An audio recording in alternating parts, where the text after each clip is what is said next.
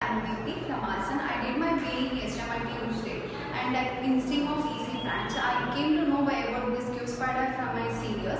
I joined with QSPIDER in the month of July. It's a good place to learn, uh, learn uh, very gain good technical knowledge and uh, HRs are.